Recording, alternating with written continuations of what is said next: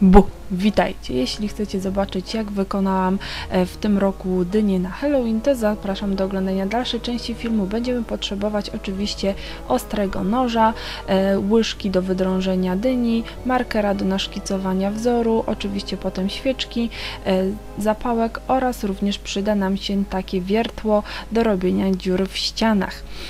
Oczywiście rozpoczynamy najpierw od wydrążenia naszej dyni za pomocą ostrego noża. Warto, aby nóż miał ostry e, czubek. Bardzo dobrze do tego celu e, wykorzystacie e, nóż do papieru i teraz za pomocą łyżki luzuję wszystkie peski, które znajdują się wewnątrz i będę je oczywiście przerzucać do pojemnika. Warto, aby otwór był wielkości dłoni, aby móc jak najszybciej, jak najsprawniej oczyścić wnętrze dyni. Teraz za pomocą ręcznika papierowego jeszcze dodatkowo osuszam i e, poleruję wnętrze dyni e, i teraz e, czas na wzór. Ja sobie wcześniej naszkicowałam go na kartce i teraz za pomocą markera będę go nanosić na ładniejszą stronę mojej dyni i teraz odręcznie próbuję naszkicować sobie wzór, który sobie wcześniej zaplanowałam.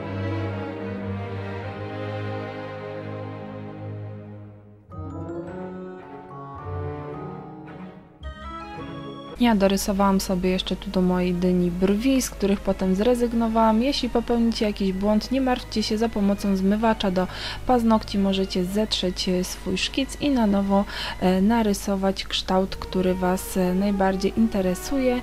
Ja zmieniłam tutaj kształt ust i w chwili obecnej jestem z mojej dyni zadowolona i zabieram się do wydrążania tych bardziej skomplikowanych elementów za pomocą właśnie noża e, z ostrym czubkiem. E, poruszam się po krawędziach e, zarysowanych wcześniej markerem i wycinam dosyć precyzyjnie kształty oczu, ust i nosa.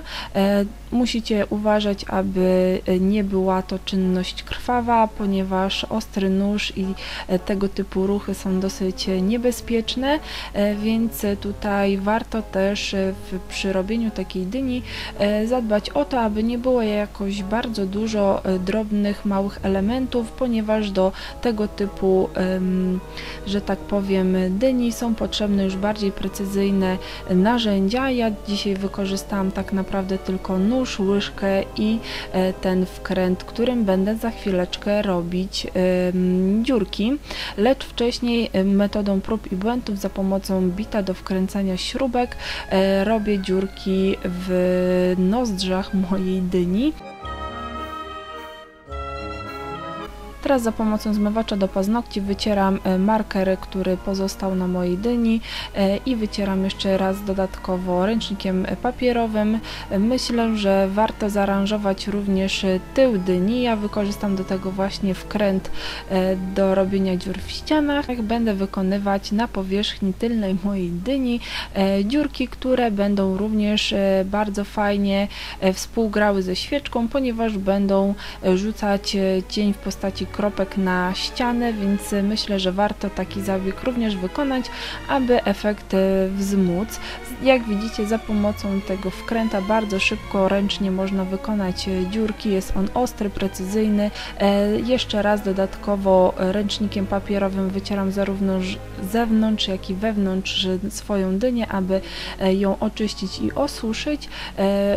Czyszczę oczywiście moje stanowisko pracy i czas teraz na finish, czyli zapalamy naszą e, dynię. tak prezentuje się efekt końcowy. Mam nadzieję, że Wam się spodobał. Dajcie znać, czy robicie dynię e, na Halloween. Ja bardzo lubię ten zwyczaj. Jest to taka nasza mała tradycja. W chwili obecnej dziękuję Wam serdecznie za uwagę i do zobaczenia już niebawem w kolejnych filmach.